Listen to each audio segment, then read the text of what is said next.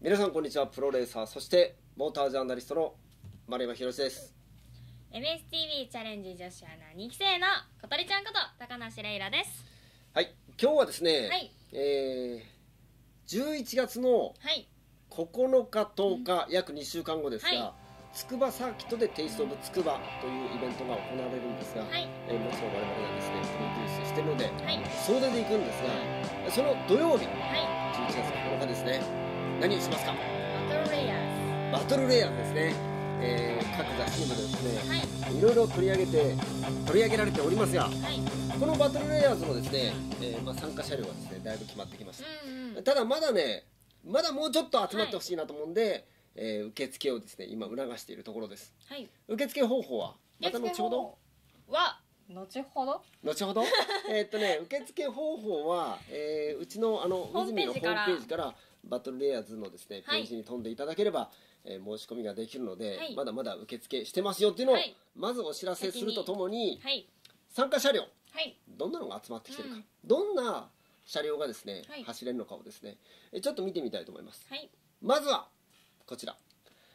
これ CBR、はい。えー大二郎レプリカでほうほう。このカラー本来はないはずなんですが、うん。CBR600 に、そうですね青。うん。はい、一応このカラーで作ったというのをねうん。これ実は、えー結構壮行会でねはい。随分走ってるの見かけてるんですが、うんえー今回はですねバトルレイヤーズで、はい。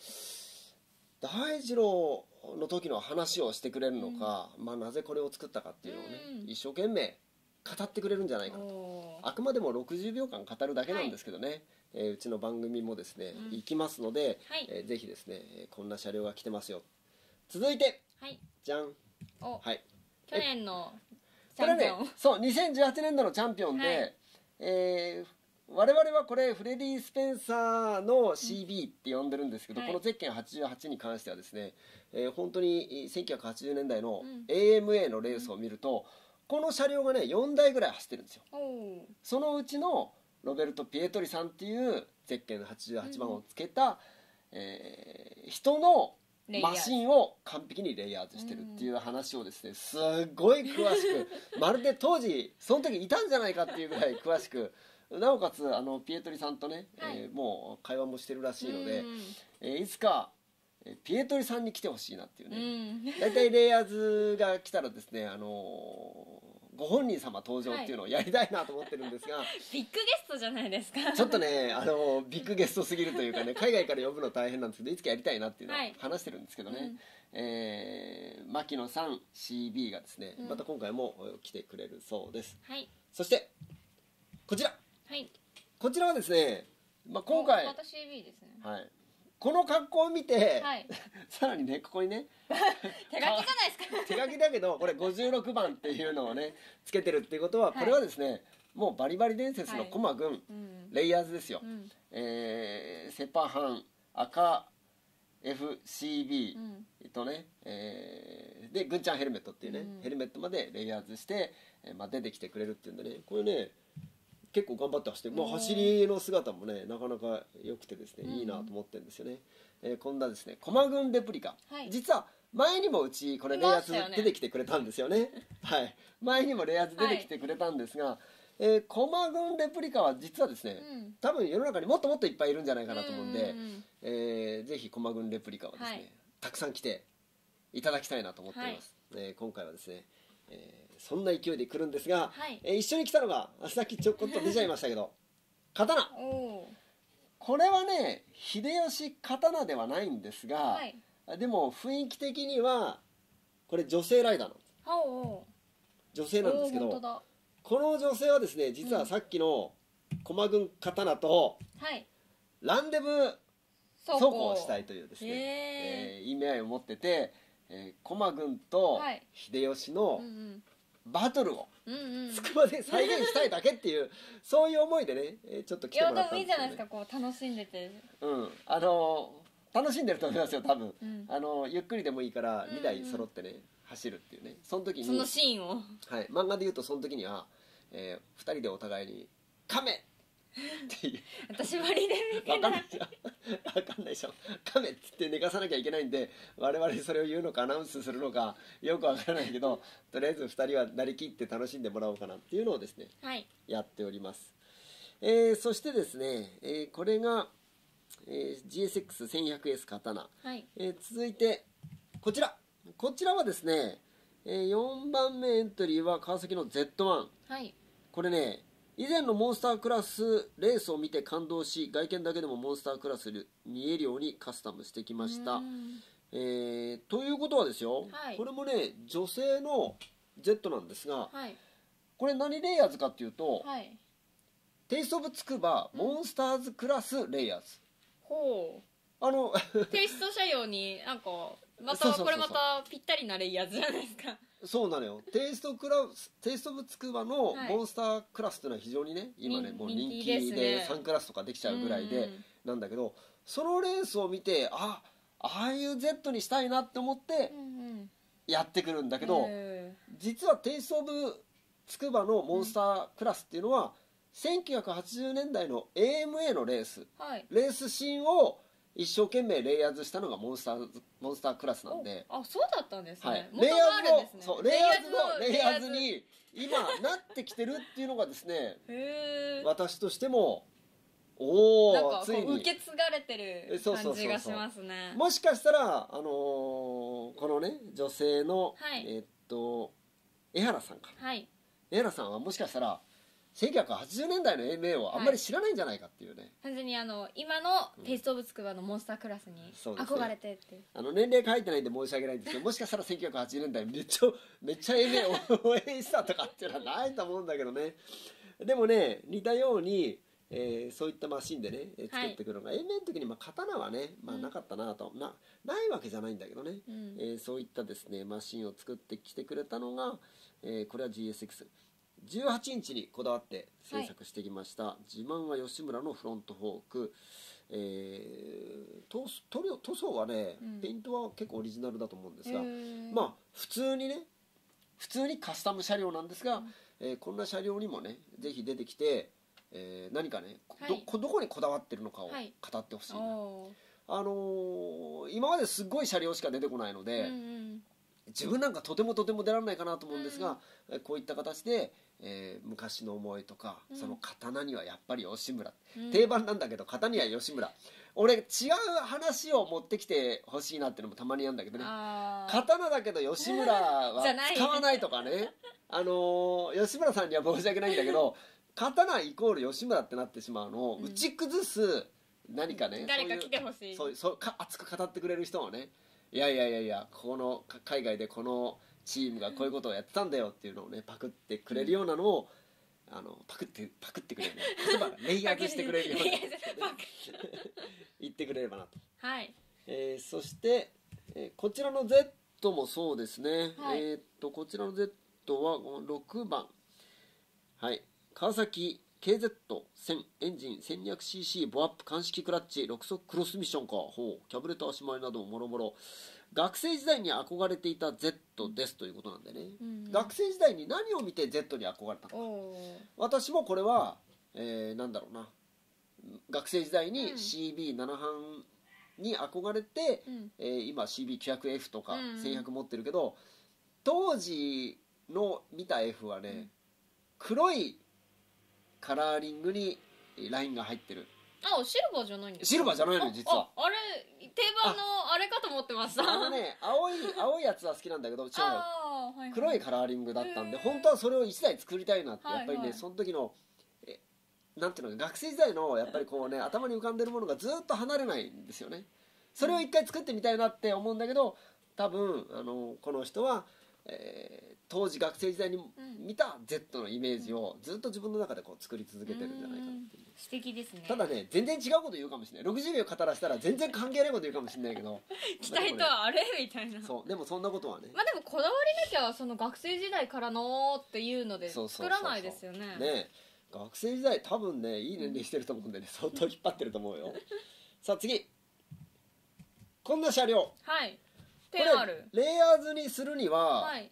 あまりにも現代のマシンね。現代のマシンってももう何世代か前の 10R ですが、うん。えー何をレイヤーズしてるのかっていうのがですね本来ちょっと難しいところがあるんですね、はい。今だとまあ思い出すのはやっぱりスーパーバイク選手権でうん 10R が活躍した頃とかっていうふうになるんですが、うんうん。ついてるマシンはねビート。うん。ビートのマフラーっていうだけで来てるんでねビートのマフラープラスなんかあったかな、えーっとね 10R はね。どこだ？これか。ビートのマフラーデートナレバーガードカーボンアンダーカール。うん。ここはねあのー本人に聞いてみないと分かんないけど、なぜビートのマフラーか。うん。私ビートがカワサキで活躍してた時代に全日本やったことがあるので、へあの速かったビートの F3 時代とか、ーうんうん大島正君が頑張ってたとか加藤博之選手が頑張ってたとかって分かんないでしょ、わかんこれ見てる人もほとんど分かんない。でも俺はその時筑波のレースを一生懸命見せて、はい。ビートの速さを知ってたんでね、うん。カワサキといったらビートのマフラーっていう人も、へえーそんな話を語ってくれるといいなと思ってるんですよね。いいな。と思ってるんですけどね、えー大島正君の速さはねものすごい筑波関西から来たライダーなのに筑波めっちゃ速いとかー。ね、えーそんな思い出がね語っていただけるんだったら、うん。ぜひそんなマフラー一本でもはい、語ってもらえればな。まあ、その選手にすごい憧れてとか。そうね。そういうの必ずあるはずなんです、うん。じゃないとつけないからね、うん。そう思う思わない？思います。何かにこだわって、うん。あこのマフラーはこれにしようかなってうんうんうん。思うよね、まあ馬力が上がるだけっていうのもみんなもあれだけど、あーうん。そこにプラスアルファなんかうん。必ず欲しいよね。やっぱり有名ライダーがこれをライダーとかね。使ってたたそのメーカーだったからっていう。いつもあの鶴ちゃんトリックスターの鶴ちゃんとよくはい。はい話してるから、まあしょうがねえからトリックスターつけよういやいやいやいやそうしたらじゃあうちの最速プロジェクトそうなっちゃうじゃないですかそういやいやいやそんなことないあれはトリックスターのマシンがはい海外で活躍してる、うん真っ先に開発してるのを見て俺はあもうトリックスターじゃあつけようって言ってうんうちのマシンはトリックスターつけてたけどね、うんうんえー川崎当時のビート時代を知ってる人にとってはやっぱりビートのマフラーかなっていう人はやっぱりいるわけですよ、うん。それを語ってほしいな。はい。長えなこの話ってな、ね。はい、そしてね次あたりから。はい。はい。次。これ。うん？これなんだかわかんないでしょう。ん。これねここねそろそろね海外行き狙ってきてますよ、はい。これはですね川崎の KH250 ってなってますけどね、これはね、えー昔のワークス川崎のワークスレーサーに和田正宏さんっていう人がいてですね、はい。えーその KR レーサー仕様の KH250 というカスタムポイントはカルのカラーリングライトカバーのゼッケン。ライトカバーのゼッケン。うん。で全身コスプレ。えじゃあもうこれももうなんだライダーさん自身ももうレイヤーズなんですね。もうあの形も全部そのまたね和田さんレイヤーズっていうのがすごい。からかなりマニアックなんですけどこれもねもう番組見てたらね和田さんであのつくばに来てほしいなってすごく思うわけよ。あの川崎の清さんか和田さんかって。うん。絶対この辺はね一回つくばにあ清さんはもう来てもらってるのか。でもね、本当にねつくばに来てねこのレース見てほしいなと思うんだけど、えー和田さんはい。レイヤーズというですねこれはねこれ和田さんレイヤーズ当時こんな形でねレースをしたって。もう相当昔ですからね。これなんこれ一応まあ見ら見らないといけないからね。レーサーとはレーサーとはいえね。はい。この辺はですね本当に海外行き狙ってきますよ。その和田さんへの熱い思い、うんうん。ね。語ってもあんまり分かる人がいないかもしれないけど、はい。あまりにも熱く語るがためにまた和田さんを調べてね、はい。和田さんの活躍ってすごかったとかっていうのをね、見てほしいなっていうのがあのバトルレイヤーズのうん。意気込みでもあって、昔のね、はい。えー話を掘り返してみるとそう、えー昔こんなすごいレース展開をしてたことがあったんだっつうと、そのマシンにまた思い入れがね、うんうんえーいくというですね。そんなところを見てほしいな。さあ次。じゃん。これ。これ分かんないでしょ？わかんない。これはね私もですね、えー実はあのー今回ラベルダラベルダを持ってきてくれてるんですが、マシンはですねラベルダ7班 SFC、えー持ってくるのはこだわりすごいですね。堀江さんと言ってですねああノートンロータリー号でですねもうすでにめちゃくちゃ再生数いってるはい。堀江さんじゃないですか。今年すでにあのチャンピオンを狙ってるという勝手にチャンピオンに我々がしちゃうかもしれないんですがまだわからない、えーノートンロータリーでねもう視聴率ものすごくいってるんですがしかしいやまだまだ他にもあるよ、うん。本当ねドカッティのあの SS、うんうん。これもわかんねえだろうなえーマイク・ヘイルとレプリカをですね、まあ、レプリカじゃねえんだよマイク・ヘイルと、えーレイヤーズをですね、はい。かこのラベルダー持ってくる、はいどっちがいいかなと思ってたんですけどこれはねあの1972年式前後ドラムブレーキの初期型車両英国で見つけて、えー個人輸入、えー通関国内登録えー行動車両当時の資料をもとに耐久レース仕様に改造しましたっていうので1970年代に、うん。あの耐久選手権ではい。頑張ってあのチャンピオンって言った車両じゃないか、えー1969年から1972年まで主要な世界大世界耐久レースで連勝。へえすごい。今で言うと世界耐久選手権 EWC は例えば、えー ZX10R とか、はい。まあ、鈴木の GSX-R1000 とかが、まあ、あと R1 だよね、うんうん。頑張ってるわけじゃない、はいはいはい1960年頃この車両が頑張ってた。連戦連勝っていうですね。へそれを一生懸命持ってきてくれるというですね。こういうのも楽しみ。でであ当時こういうねライト。ーいやななんこのライト変わってんな。いやいやいや当時はこうやってつけるしかなかったのよ。今時のようにに。綺麗には収まんないのよ。あむき出しですか？だってライトつけなきゃいけないっていうからしょうがないからライトつけるわけよドツンって。っえわおていうねこういうでもこういう形のレースレーサーがねうんうん。またあのー私はね世界耐久選手権シリーズの、えーレイヤーズレースっていうのもやりたいと実は思って。る、うんうんうん。こういうデメキンカウルネットでね デメキンカウルネットでねデメキンカウルって言うんだけどね。はい。でもこれをね真っ先に持ってきてくれるってこれもちょっと楽しみですね、はい、そしてこれついこの間最近出た。最近出てこれも結構チャンピオン候補いってますよ、はい。こちらがナナダデビさん。で本人なんですが横にいるのは当時あの GP で活躍していたロリス・カピロッシ、ご本人。ご本人なんです すごい。わざわざ今回ご本人と一緒に撮った写真をですね送ってくれました。送ってくれたんですがもうね当時の本当の GP レーサーの一生懸命、うん。えーレイヤーズをして、えー頑張っていたらですねなんと本人から連絡来ておおそう言ってましたよねそう。この間のバトレイで。青青じゃねえかっつって茂木の GP の時に一緒に会ってこうやって、ね、マシン持ってって持ってきてくれたっていうこのおナナデビさんがまたですね、うん。えー今回筑波でうん。このマシンを披露してくれるっていうんでおね、おここもすごい。ね。ご本人と写真撮っちゃう。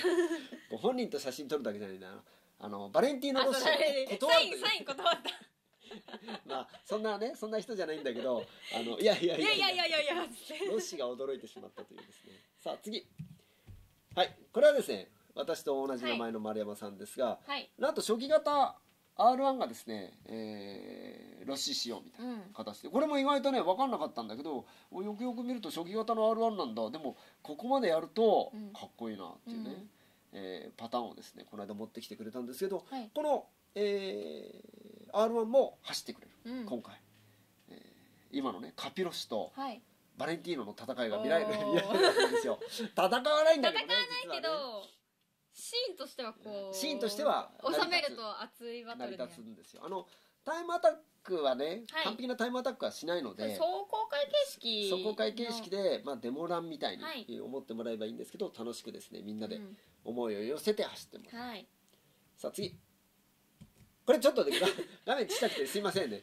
えー、ピスタ・ミッソーニの、はい。えー MV アグスタっていうのをね、はい。えーこの間遠藤さんが、えーやっぱりバトルレイヤーズ出てきてくれたんですが今回も、まあ、参戦しようかということでちょっと画面ちっちゃいですが、えー今回も来てくれるということになりました。はい。唯一一戦だけ出たはい。カラーリングを頑張って真似しているというですね。一戦だけのなんかその価値観みたいなものをね、うん。一生懸命表現してるわけですよね。はい。そしてお。来た。これお外に出てるの私初めて見ますよ。本当ですね。ガレージにしまい込んでた。いつも保管されてるんですけどこれねはい。チャンピオン狙いに来てるそうです。いやお。今回絶対狙うよと、えー言ってきてるんですが。湯浅さんはい、えー元はですね GSX-R はい。なんと1400というですね、うん。1400の方のエンジンを載せてるんですが、えーボンネビルというですね、えーこれはまあ吉村から出ていたスペシャル車両をですね、えー頑張ってレイヤーズして作ってきてるというのをやってきております。これはね、えーいろいろ苦労してるいろいろ苦労してるんで俺はレイヤーズ、あのー海外旅行を狙うよって言ってた。うん前回は実はあらー CB1100R うんっていうのがね、タイプこれはあるドレミさんドレミさんっていうねカスタムの、うん。あのーパーツショップとうん。共に組んでやってるんで、うん。これはショップレイヤーズだ。ショップレイヤーズだろうって言ってあ認めなかったんですけどこれは個人で作ってるからショップじゃない。ここれは個人だよっつってこれは本当にもしねすげえなと思ったら、あのバンバンいいねをしてくれれば。いいですはい。そしたら湯浅さん今回はチャンピオンとしてプーケットに行ける。うん、でも今あの下の後半で紹介したのはみんな海外行き狙ってるから、うん。こればっかりはね。結構気合入ってますね。気合入ってますよ、ね、岩さんもすごい気合入ってるからね。海外行きをね、まあ、狙ってるんじゃないかなと、えーいう形でさあえーこんなですね、はい。えー今あーエントリーがね揃ってきたんですが、うん。さあエントリーをですねしていただくにははい。どうしたらいいんですか、ちょっと概要をちょっと伝えてもらえますか？とホームページ出してもらっていいですか？はい、よ。っ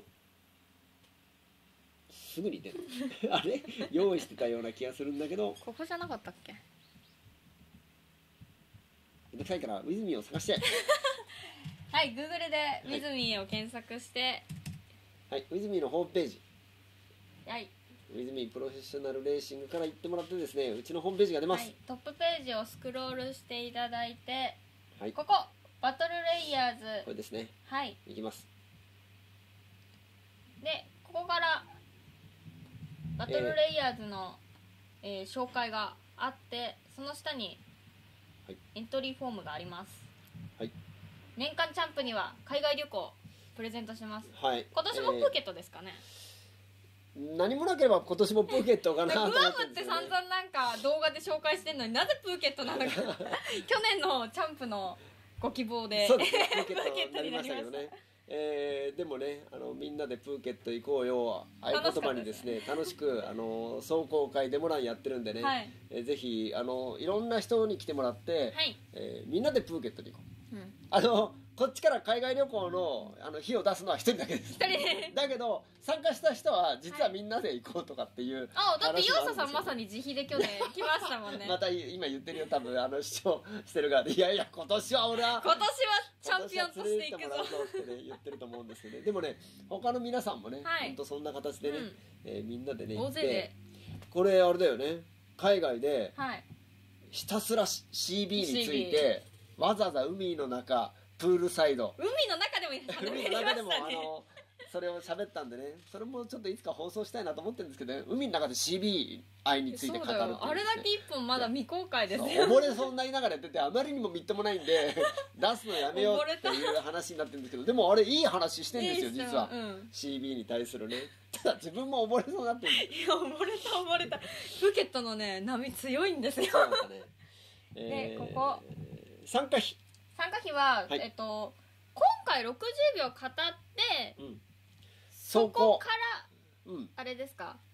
あ何？の丸山さんがこれは聞きたいと思った人だけあそうそうそうそう。撮影。基本はまあ60秒のワンシーンを撮る、うんえーうん。まあ、それをね、まあ、放送はするんだけれども、はい。その中から、うん。えーすごい響いた人のお車両をまたね後でちょっと撮影はしようかなと思ってるんですが、台数が多いとね、ーはい。あまりにもちょっと撮影時間が長くなってしまうと、本当に夜毎毎回今夜になってるもんね。そう日が暮れてますよね。そう。だけど、えーそこで語った中から、うん。まあ、60秒はでもねみんなに語ってもらいましょうという撮ことで。影と走行セットでそうですね。えー3万円になってます、えーこの走行っていうのは、うん。テイスト・オブ・つくばにエントリーするのと全く同じなので、はい。普通にエントリーパスと、はい。まあ、駐車券と、はい。があって中に入ってきて場所が確保されて、うんまあ、テイスト・オブ・つくばに、はい。まあ、出場できるっていううん。権利を、はい。このバトルレイヤーズクラスで作るっていうのもうん。私にとっては重要で、うんうん。テイスト・オブ・つくばってねあまりにもレースが激しいというかレベルが高すぎてあもの古い車両なのにものすごいタイムで走りすぎてるので、うん。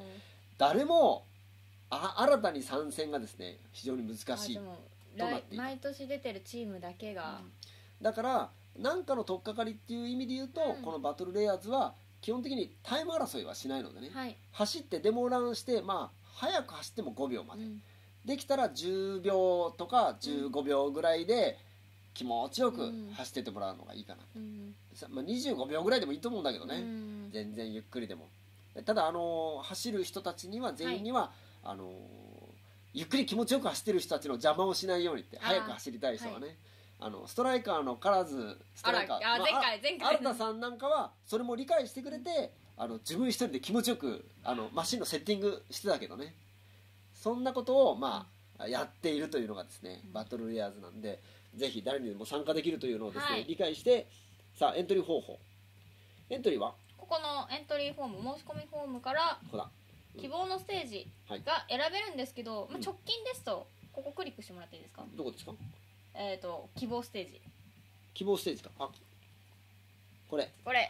で直近ですと僕上2つが終わっちゃってるのでテイストオブつくばバトルレイヤーズクラス、でやってえー必要事項を書いて書いて送信お願いします。はい。で送られたフォームをもとにこちらからうん。ちょっと次の、えーそうですね。あのどんな車両マシンかっていうのをはい。いろいろと聞きたいなっていう部分をちゃんと聞いて、えーあと概要とかをそう概要をちゃんと送ってね。はい。ちゃんと読んでください、えそうすると、えーテイスト・オブ・つくばのうん。パス、えー基本的にはライダーパス。ピットクルーパスが2枚、えー駐車券が1枚はい。ということで、これであのテイスト・オブ・つくばに、まあ、参戦するっていうね。これ大事なんですよ、うん。テイスト・オブ・つくばに参戦できるという形がね、あるというのが大事なので私としてはですねまだまだテイスト・オブ・つくばをですねまた盛り上げるためにもうん。新しいクラスを作って、うん。えーどんどん新しい人たちに来てもらって、うん。だけど、まあ、大事なのはバイクに対する熱き思い熱き語り愛。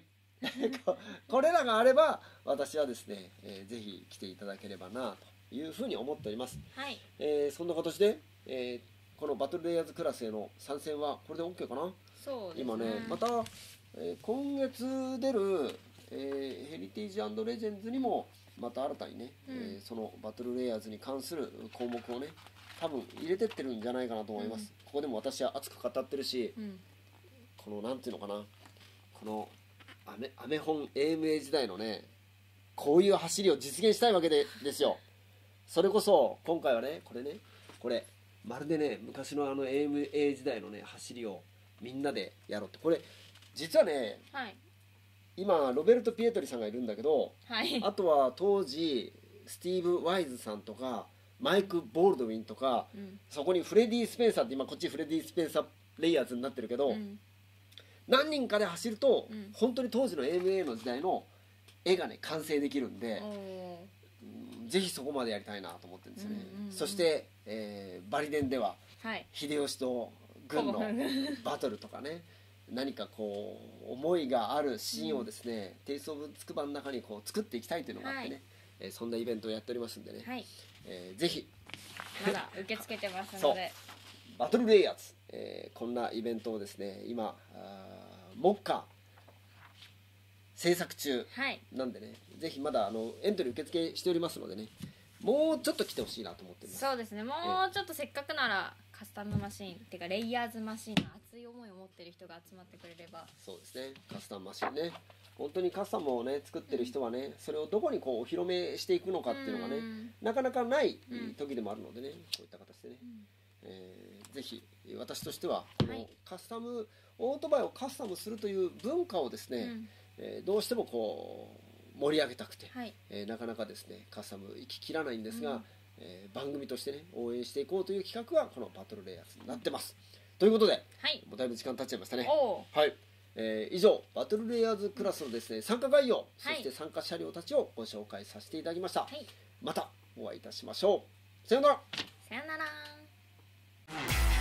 ご覧のスポンサーの提供でお送りしました。